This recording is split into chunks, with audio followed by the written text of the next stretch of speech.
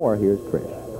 Thank you. With me now is the conditioner of the 1 to 5 stock, Cathedra.com, Chris Ryder. And Chris, uh, welcome to Delaware.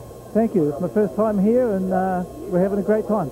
A lot of difference in the atmosphere here at Delaware County Fairgrounds compared to the big uh, New Jersey circuit that you usually race on. Yeah, a lot of difference. Um, you know, I guess it's got the best of both worlds. Like you say, it's a fairgrounds, and um, everyone's here to enjoy it. Uh, you know, and you've still got good horses here and uh, nice racetrack. And it's just a good day. A lot of atmosphere, that's for sure. Everybody's probably going to notice your accent, and they're going to say, what about the background of that fellow? Where are you from? I'm originally from New Zealand. I was born and raised in New Zealand, and I've been living in, in the States 11 years. What about the racing background? Racing is a lot different in New Zealand, even now. Yes, it is a lot different. Uh, they race over long distance. They have bigger fields, uh, different race bikes, and uh, the training, the training's, uh, you know, it's it's a little bit different, but not entirely different. You know, you basically still got to have uh, your your horse in um, good condition and uh, you know good good care. Were your early lessons all taken in New Zealand, or did you just get the harness racing bug when you came over to the United States? No, I was mainly, oh, you know, most of my early training was in New Zealand because my father had horses. I was raised with them, and uh, I was just always with them. And uh, but uh, you know, when you're training horses, you're continually learning. So I've still learned a lot over here. Sometimes I see you in the race bike, and I see you handle Cathedra.com in her very first appearance on the racetrack, and that was back at Pocono Downs on July 21st. In what situations do you drive?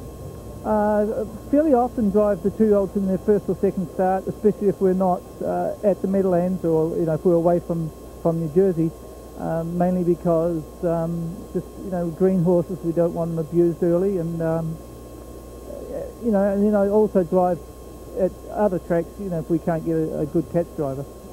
She was second in that debut and what did you think about her as she came out of the race? Well I was very happy with her that night. Uh, the track was deceptively slow. Uh, it had rained heavy and it was the track was as, as you know, more or less as bad as it could be. It was very deep, very heavy, and she closed into it, and um, 58 that night was was a good mile. You know, she didn't waste any time breaking that maiden. She won in her next time out, and she's been winning ever since. But she's been doing it all on the front end. A one-way horse? No, she's not one way at all. Uh, obviously, we expect her to be on the front end today, and uh, you know, I'm really looking forward to seeing her on a mile where she um, where she won't have to be on the front unless she's a heavy favourite, which that's the only reason really why she went to the front at the Meadowlands in her second start and cut the mile because she was such a heavy favourite. And um, but you know, I'm very confident. I, well, I'm, I will be very confident with her from off the pace.